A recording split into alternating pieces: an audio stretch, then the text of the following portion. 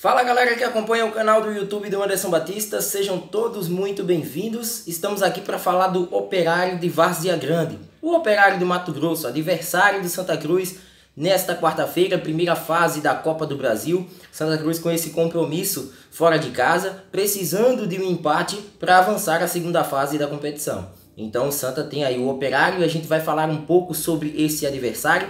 Por isso a gente sempre convida o torcedor a estar conosco no nosso canal. Se inscreve, dá o like nos nossos vídeos, clica no sino das notificações para ser avisado de novo conteúdo aqui na nossa plataforma. Comente e compartilhe à vontade esse vídeo nas suas redes sociais.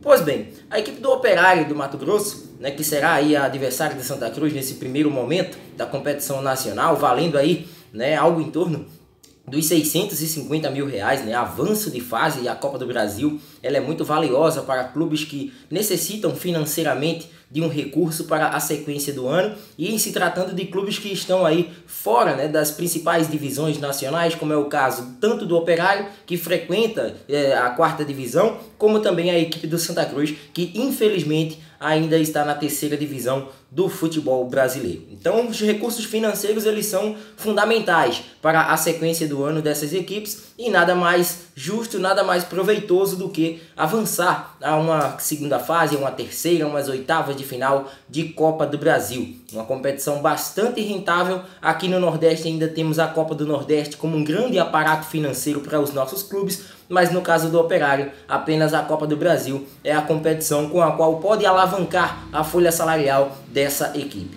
A equipe do Operário tem 12 títulos estaduais, é uma equipe que vai para sua quinta participação na Copa do Brasil, sendo que apenas em 1996 o Operário acabou avançando à segunda fase do torneio. Nas outras três oportunidades, a equipe do Mato Grosso foi eliminada na primeira fase. Vale destacar que, neste momento, na competição estadual, no Campeonato Mato Grossense, a equipe do Operário ocupa a quarta colocação com sete pontos tem quatro partidas já realizadas. Vale destacar que algumas equipes que disputam o torneio, como é o caso do Sinop, como é o caso do União Rondonópolis, que inclusive pode ser adversário do próprio Operário na próxima fase, essas equipes ainda possuem três jogos no campeonato. O campeonato é simples, né? tem 10 equipes, oito avançam à próxima fase, duas são automaticamente rebaixadas, as duas últimas, para a Série A2 do estado. Nesse momento, a quarta colocação da equipe do Operário vem com sete pontos, duas vitórias,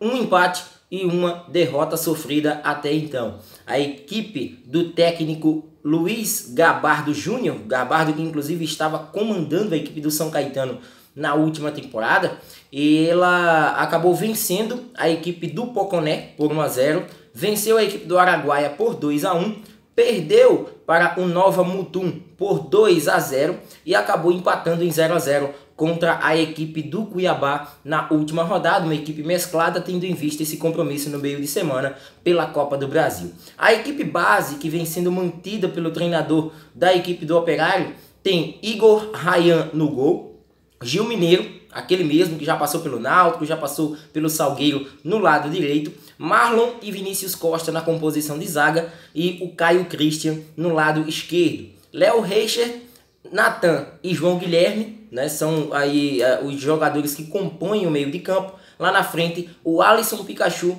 Pilar e Vandinho. Esses nomes compõem aí o sistema ofensivo. Destaque né, dos três gols marcados na temporada da equipe do Operário, dois foram anotados por o Alisson Pikachu, camisa 10, um dos destaques dessa equipe, e o outro marcado por João Guilherme. Então é uma tentativa aí do Operário que joga inclusive na Arena Pantanal esta partida contra o Santa Cruz, de quem sabe surpreender a equipe coral. Santa Cruz tem aí um passado recente interessante né, contra equipes do Mato Grosso. A última equipe que o Santa acabou eliminando foi na edição passada. O Santa acabou tirando o Sinop da Copa do Brasil na temporada passada, gols marcados por Pipi, um jogo que aconteceu também no Mato Grosso. Santa Cruz espera repetir a mesma atuação que é, acabou é, ocasionando na temporada 2019. Santa que tem a volta aí dos seus principais atletas em relação à última partida contra a equipe do Vitória pelo Campeonato Pernambucano. Voltam os laterais Fabiano e Júnior, volta o zagueiro Dani Moraes,